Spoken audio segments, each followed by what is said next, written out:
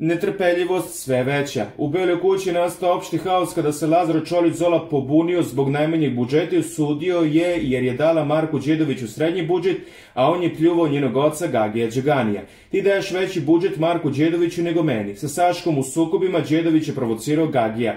On je za tvog oca govorio da je nasilnik, govorio mu da jede G, rekao je Zola.